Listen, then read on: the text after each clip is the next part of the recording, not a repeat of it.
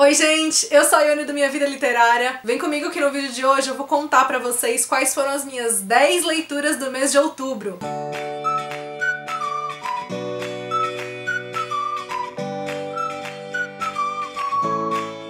Recadinhos básicos antes de tudo. Já tá inscrito aqui no canal? Se ainda não estiver, aproveita, se inscreve, ativa o sininho para receber as notificações. Se ainda não conhece o clube de membros, ó, já vai aqui para conhecer todas as vantagens exclusivas para quem assina. Bom, outubro, o mês mais lindo do ano, estava eu então também ligeiramente inspirada e li bastante coisa legal, inclusive tiveram livros aqui que com certeza entraram nos meus melhores do ano. E eu já comecei o mês fazendo a leitura de um livro que eu queria ler, ó, há muito tempo e aproveitei agora para isso e foi uma leitura bastante ágil, bastante fluida. O livro dos espelhos, e eu não sei pronunciar o nome do autor, mas é este que vocês podem ler aqui embaixo. Eu não sei se é I.O. Kirovich, Tirovich, cada seja algum outro jeito, é esse daqui, tá? O livro tá disponível para leitura no Kindle Unlimited, inclusive mesmo tendo edição física, foi pelo Unlimited que eu li. Esse aqui é uma mescla de thriller policial com thriller psicológico, e ele vai partir da premissa de um manuscrito de um autor que envia esse manuscrito para um agente literário para saber se esse agente literário tem interesse, né, em representar o livro. E a gente começa a leitura então por essa narrativa desse agente e já embarca no manuscrito do livro, então a gente lê a história que ele recebe. Quando os capítulos iniciais do livro que foi enviado para ele acabam, o agente vai tentar entrar em contato com o autor porque ele ficou interessado, ele quer continuar lendo o resto do livro. E essa altura do campeonato a gente também quer continuar, porque ali esse autor tá contando acontecimentos, né, que ocorreram com ele enquanto ele esteve na faculdade, quase três décadas antes, né, do momento presente aqui da história,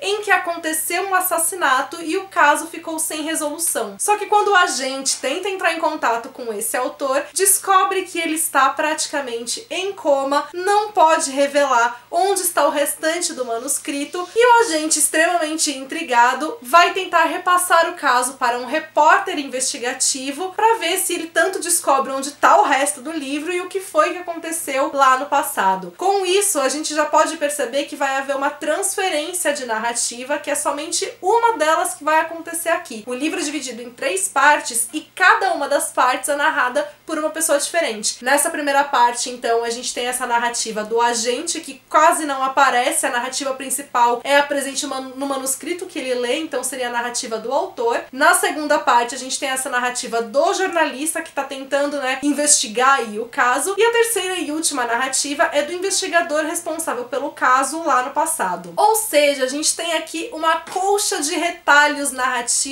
que vão acabar formando um jogo de espelhos, basicamente como o título acaba indicando pra gente. Isso porque toda a narrativa vai acontecer por meio de impressões. Tudo que a gente tem aqui são as coisas que as pessoas acham, aquilo que elas perceberam das situações. Por isso que a gente tem esse jogo, né, de espelhos, porque é uma visão que vai contrastar com a outra, que vai refletir em algo diferente. E aí por isso que a gente tem essa característica psicológica muito forte na história, mesmo que esse também seja um thriller policial, porque a gente tem esse caso policial sendo investigado. Como eu mencionei, é um livro muito fluido, a linguagem dele é muito rápida, então é um livro que dá para você ler super rápido mesmo. Por conta dessa agilidade dele, ele é um livro que ele não se aprofunda tanto tanto em alguns aspectos, então eu acho que ele deixou um pouco a desejar em termos de tensão, não é um livro que ele traz essa tensão dos thrillers muito aguçada, embora ele desperte nossa curiosidade, mas que eu gostei muito da construção da história, de como o autor trouxe esse aspecto, né, das impressões, o impacto que isso tem aqui nos fatos. É um livro que fala muito da questão das memórias, então o que também tem esse aspecto psicológico e que vai falar da própria produção literária, da produção criativa, já que a gente tem, né, uma obra sendo descrita escrita aqui. E esse também foi mais um dos aspectos que eu gostei bastante na leitura. Não foi uau, mas foi uma leitura interessante e gostosa de se fazer. Depois eu participei da leitura coletiva promovida pelo Resistência Afroliterária. Vou deixar os perfis para vocês conhecerem, então, aqui no box de informações.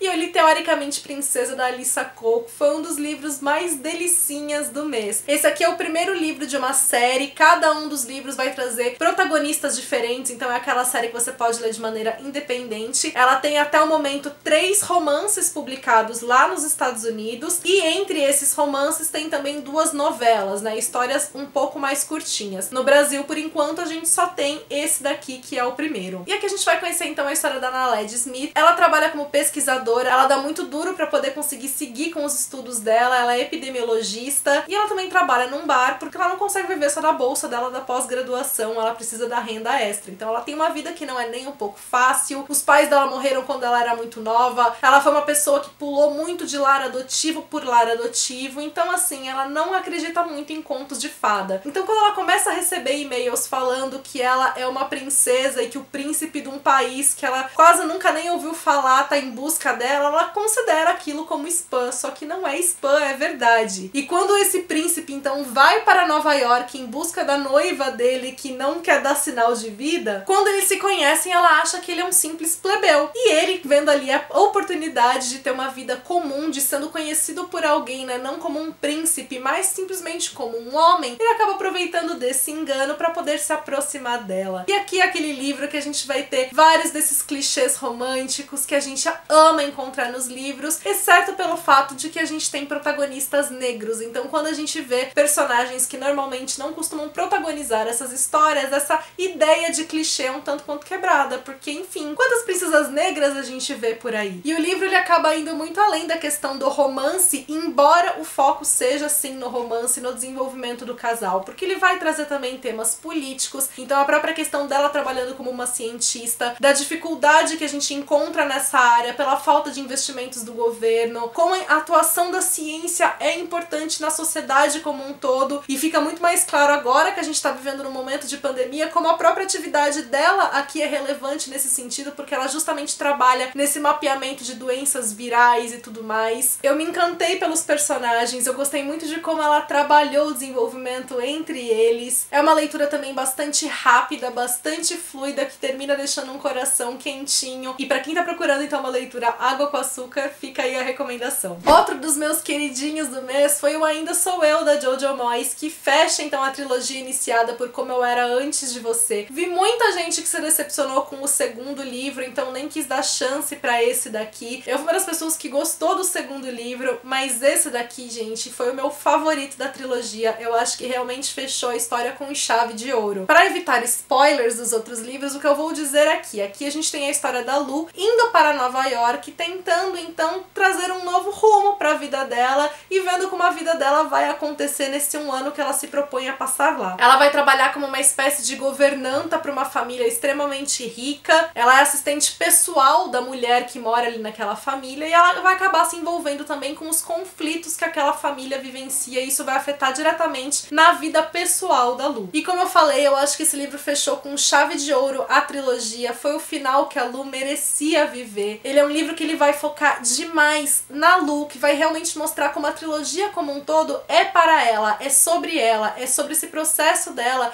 em descobrir quem é, em assumir a própria voz, em se desligar principalmente da projeção que ela acaba sendo em relação às expectativas dos outros. É ela ouvindo a própria voz. Então eu gostei demais da mensagem que o livro passou, dessa força que ele tem e de como ele também foi aquela leitura que eu não queria parar de fazer. Acho também que é o livro mais engraçado dos três livros. Eu me peguei dando risada em diversas passagens, assim como eu também me emocionei muito por conta de todos os aprendizados que ela tem aqui. Foi um livro que conversou demais comigo. Esse mês eu também li uma novela bem rapidinha que é o Isolados no Amor da Meyer. É um livro que foi autopublicado, então o e-book está disponível lá na Amazon para compra e também para leitura no Kindle Unlimited. E como eu mencionei, então é uma novela e ela vai se passar agora no período da pandemia. Então a gente tem aqui uma personagem que ela trabalha como influenciadora, produtora de conteúdo também, e que por sofrer de ansiedade, ela acaba sendo ainda mais afetada, né, por causa do momento do isolamento social. E ela resolve ir para Minas, se isolar numa das casas da família dela, e quando ela vai para lá, ela descobre que quem está lá também é o ex-namorado dela, que é amigo do irmão dela e que ela não sabia que estava também quarentenado lá naquela casa. E aí eles vão ficar isolados juntos. E é uma leitura muito gostosa. Foi o meu primeiro contato com a escrita da Assi. Eu gostei demais da narrativa dela, né? De como ela é bastante fluida. Eu gostei muito de ver como ela trabalhou essas questões emocionais da protagonista. É sempre muito interessante a gente se identificar nisso, né? E reconhecer ali os medos que a gente também viveu, que são assim tão recentes, que ainda estão presentes presentes, né? Os próprios efeitos em si do isolamento. Então, enfim, eu gostei de ver isso retratado ali, mas do que tudo eu gostei muito de ver a dinâmica do casal. É realmente focado no casal, no romance. Então, para quem tá procurando um romance gostoso e bem rapidinho, fica aí a recomendação. De leituras mais rapidinhas que eu fiz esse mês também, eu li o Pega Lá Uma Chave de Fenda, da Ruth Manos. Ela é, se eu não me engano, colunista da Folha. Ela é colunista de algum lugar aí que eu esqueci. E eu, na verdade, não conhecia o trabalho dela, eu conheci a partir desse livro. Vale dizer que ele está lindamente diagramado.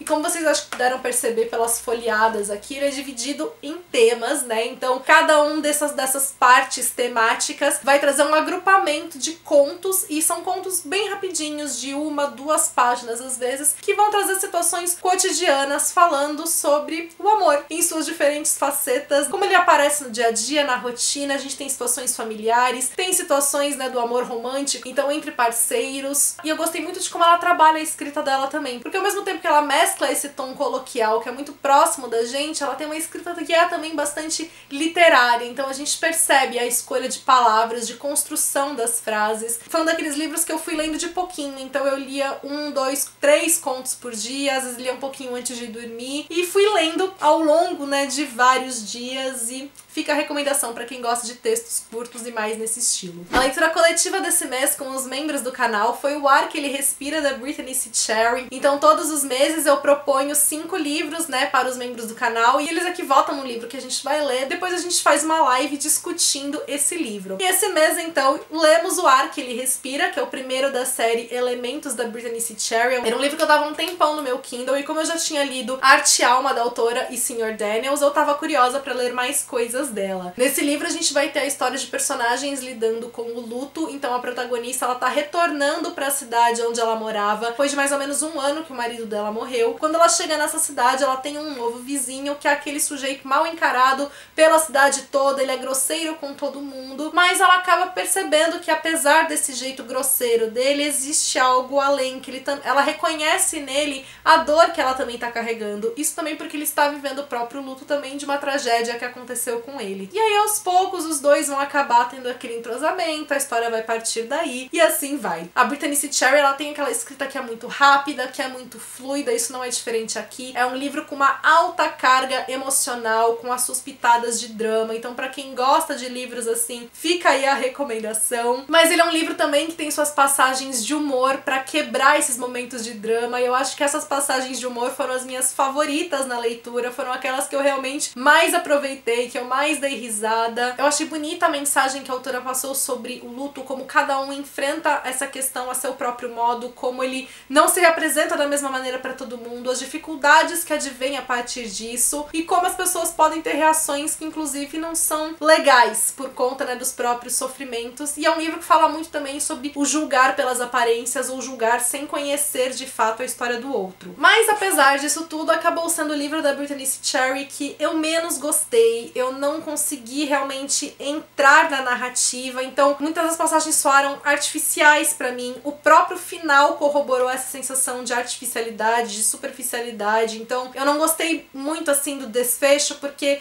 tem uma reviravolta ali que vai trazer mais ação pra leitura, vai deixar ela mais instigante, mas eu acabei achando que ficou uma coisa meio. Enfim, que não me convenceu. Os próprios segredos da história também, as reviravoltas que tem ali, não foram surpresas, eram coisas que eu já tinha previsto, mas é claro, né? Não precisava que elas fossem surpreendentes de fato pra eu gostar. Às vezes acontece, né, de eu descobrir alguma coisa no livro antes e ainda assim eu gostar. É que nesse caso realmente não, não funcionou, não, não rolou. ainda assim, pretendo ler outras coisas coisas da autora. Vergonha, por exemplo, que eu vejo que é um livro que todo mundo fala super bem. Mais recente também, o Eliana Grey. Eu só não pretendo, talvez, continuar lendo os outros livros desta série Elementos. Esse eu também li O Prata da Terra, da Luciana Klanovics, que é um romance de época nacional que vai se passar na Itália renascentista. O livro está disponível em e-book lá na Amazon, também no Kindle Unlimited. E aqui no caso a gente vai ter uma grande história de amor, aquela história de personagens que vão ser separados por intrigas e que a gente vai ter a história se desenvolvendo ao longo de de vários anos. Os personagens se conhecem ainda quando adolescentes, mas vão ter pessoas interessadas em separá-los e uma mentira vai fazer então com que eles fiquem com imagens completamente negativas um do outro. Vários anos depois eles vão se reencontrar, o amor vai continuar existindo, mas eles ainda estão muito carregados do ódio, né, por causa das mentiras que foram contadas. E aí a história vai focar basicamente neles dois, né, com eles tentando ficarem juntos apesar de todas as adversidades que já foram colocadas ali. Uma coisa que eu gostei bastante é que a autora ela não carregou essa questão né, da mentira durante todo o livro. Então não é que os personagens só vão descobrir que mentiram para eles lá no final, porque aí também são colocados outros conflitos, outras coisas que acontecem. Até metade do livro, eles já passaram por um monte de coisas e a partir da segunda metade ainda vem outros eventos acontecendo. Então eles realmente são sofredores. A escrita da Luciana Klanovics é uma escrita também bastante fluida, que também vai alternar entre as perspectivas da protagonista com o protagonista. Então a gente consegue contrastar o que cada um dos dois tá enxergando, tá sentindo. E o mais interessante é, como eu mencionei, esse pano de fundo da história. Então é a Itália renascentista, a gente tá falando do final dos anos 1590 e qualquer coisa. É um livro que vai trazer também o período colonial de como pano de fundo e aqui é importante falar que a gente tá falando da visão dos colonizadores sobre os colonizados, né? Então essa visão do europeu, né, que estava no seu auge das grandes navegações, na verdade só estava invadindo a terra alheia. A Luciana Klanovics é professora universitária, ela é historiadora, então ela tem bagagem para poder retratar os acontecimentos, ainda que, como mencionei, seja um romance de época, né? Então o período histórico não é de fato o foco da história, ele é o cenário onde tudo acontece. Eu gostei muito também do fato da protagonista ser uma mulher cientista, das dificuldades que ela encontra por causa disso e principalmente porque ela representa, né, algumas das mulheres que de fato existiram naquela época e que, e que exerceram atuações ali semelhantes. Esse mês eu também li O Farol de Bill Becks, da Liz Beck, que também é o primeiro livro de uma série que está ainda em fase de produção. O segundo livro ainda não foi lançado e o terceiro está sendo escrito. E vai ser uma daquelas séries em que os próximos livros vão ser protagonizados por personagens secundários desse primeiro. E o livro já começa com o casal, então, dessa história, que são a Carol e o André, sendo afetados por conta de uma intriga de algo que a Carol ouviu e que ela não sabe se aquilo de fato aconteceu, mas a possibilidade de o André tê-la traído. E eles são aquele casal que todo mundo sempre vê juntos, que nunca ninguém imaginou que brigaria, que se separaria. E a Carol também se sente absurdamente traída porque eles tinham um pacto, né, de nunca mentir um pro outro, e ela não consegue acreditar que o André teria feito aquilo com ela. E o André, por sua vez, se sente absurdamente traído também porque a Carol, mal tá dando chance dele contar o lado dele da história, não deu um voto de confiança para ele. Então, como eu mencionei, é interessante que o livro já comece, né, com esse conflito, porque aí ele vai retornando por meio de flashbacks para mostrar a construção do casal, né? Quem eles eram antes de se conhecer, como foi o momento que eles se conheceram, como foi o desenvolvimento deles dois como um casal e como eles vão lidar então com essa questão a partir de agora. Isso traz uma certa dinâmica aí para os eventos. É um livro que também vai focar bastante no casal, nesses conflitos que eles vão ter que enfrentar. É um livro que vai falar sobre a questão da superação, sobre o quanto do amor envolve entrega e confiança no outro. Tem vídeo resenha falando, né, com mais detalhes o que eu achei da leitura. E quando eu postei a vídeo resenha, eu mencionei, né, num dos aspectos que eu não tinha tido tanta afinidade, foi a questão narrativa, porque a gente tem a alternância entre a perspectiva da Carol e do André. O livro até certa parte ele é narrado em terceira pessoa e a partir de certo ponto ele é narrado em primeira pessoa. E eu tinha ficado um pouco confusa em relação a essa transição, né, de um pro outro, porque eu não sabia se tinha sido algo que tinha passado na revisão ou se tinha sido uma questão de estilo. A autora comentou na resenha falando que foi uma escolha dela com o editor para que o livro começasse então com essa terceira pessoa onisciente para trazer uma maior objetividade pro caso no sentido de ah, tá aqui o conflito, ele foi narrado de uma maneira objetiva e depois então quando ele vai ser resolvido, traz as perspectivas individuais dos personagens. Acho interessante essa construção, né? Só que acho que como não ficou tão bem demarcada essa divisão, acabou gerando essa confusão na hora de passar um pro outro. Mas de qualquer maneira, é uma escrita bastante rápida e fluida, independentemente se em primeiro primeira ou terceira pessoa. Outro dos meus queridinhos do mês também tem vídeo resenha sobre ele aqui no canal. Recomendo também que vocês assistam, porque nela eu falo, né, com mais detalhes do que eu achei e tudo que tá presente no livro. E foi o Dando um Tempo da Marian Kiss, que acabou se tornando também um dos meus livros favoritos da autora. Eu considerei esse um dos livros mais maduros que a Marian já escreveu, tanto pela própria estrutura, temas e narrativa dela aqui, até pela própria idade dos personagens. Então a protagonista já tá lá com seus mais de 40 anos, vivendo o segundo casamento dela, e ela tá casada com esse segundo marido, já tem mais de 15 anos, e ele simplesmente chega pra ela um dia e fala que ele precisa de um tempo da relação, que ele quer passar seis meses viajando, como se ele não estivesse casado, mas ele jura que ele vai voltar depois desses seis meses, ele só realmente precisa desse tempo para ele, porque ele não tá conseguindo lidar com o luto pela morte do pai dele e de um amigo muito próximo. E ela, com razão, fica completamente estarrecida com o que aconteceu. Ela nunca imaginou que ele fosse fazer isso. E aí começam todas aquelas dúvidas, angústias, ansiedade do tipo, será que ele vai realmente voltar para casa ao longo desses seis meses? Mesmo que ele volte, eu vou continuar sendo a mesma pessoa nesse meio tempo? O que, que eu quero? Então esse processo de ida dele faz com que muita coisa que já existia no casamento venha à tona e que ela passa a se questionar sobre muita coisa. Principalmente a gente vê ela vivendo aqui uma nova fase da vida dela, né? É um livro que ele também traz flashbacks, né? Então, da vida dela antes desse casamento, qual foi o casamento primeiro dela, quem ela era em cada uma dessas fases, quem ela se tornou, em quem ela se transformou agora. E ela tá vivendo já há muito tempo essa pergunta do quem sou eu? E essa pergunta acaba sendo intensificada agora que o marido parte e deixa ela ali, né, completamente sem entender o que, que tá acontecendo. Então ele é um livro que ele vai muito nessas questões individuais, que ele fala muito da questão da relação como um todo. Ele é um livro que ele desromantiza relações, sejam elas relações amorosas, de amizade, familiares. Ele mostra, né, essa dificuldade no trato com o outro, no quanto existe expectativa e frustração. É um livro que ele acaba tendo essa visão muito cética em relação aos relacionamentos, então ele é um livro doloroso nesse sentido, mas que ele também traz essa quebra, né, através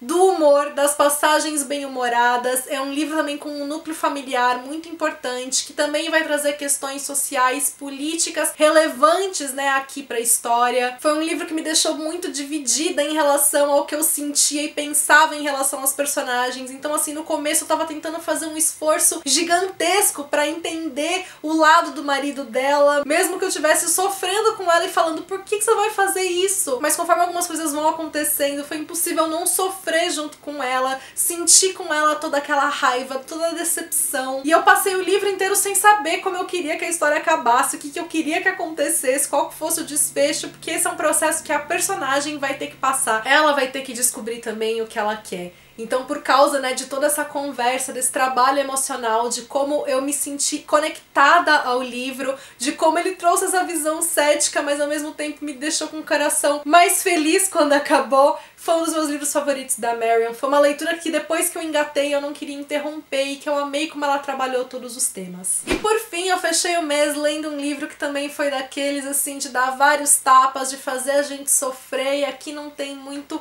alívio. O alívio na verdade a gente encontra pela beleza da escrita da autora e é o Olhos d'Água da Conceição Evaristo. Então aqui a gente vai ter vários contos né, diferentes que vão trazer de, principalmente mulheres negras em diferentes situações, as vivências dessas mulheres, mas a gente tem também alguns contos que vão trazer homens negros como protagonistas. E como mencionei, é um livro que vai trazer vários tapas na nossa cara, ele vai trazer situações dolorosas, vai revelar situações de desigualdade, de racismo, vai falar muito de dores e de anseios internos, e a gente não vai ter muito para onde correr aqui, né? As resoluções que são trazidas são resoluções dolorosas dolorosas, porque ela traz esse retrato muito real e que é realmente pra gente encarar a realidade e a realidade muitas vezes não é bonita. O alívio, como eu mencionei, vem pela escrita da Conceição Evaristo. Ela tem uma escrita extremamente sensível, poética em muitos momentos. Ela coloca beleza nas palavras. Ela escreve de coisas dolorosas, tristes e feias de um jeito bonito. Então essa beleza da escrita dela acaba trazendo esse alívio, porque não que reconforte, mas a gente fica encantado pela maneira de como como ela junta as palavras e como isso acaba trazendo muito mais potência ainda em relação àquilo que ela tá contando. Se os temas já não são fáceis, se os temas em si são dolorosos, a maneira de como ela escreve faz com que a gente sinta tudo ainda mais. Foi com certeza também um dos melhores livros que eu li esse ano. Conta pra mim aqui nos comentários os livros que vocês leram em outubro, desses que eu li, quais vocês já leram, quais vocês ficaram interessados pela leitura. Não esquece de deixar sua curtida, deixando sua curtida você ajuda muito no meu trabalho, então obrigada por isso. Se você ainda não tá inscrito no canal, já aproveita, se inscreve, ativa o sininho para não perder as notificações e me acompanha nas demais redes sociais que a gente tem um contato mais próximo por lá. Beijos a todos e até o próximo vídeo.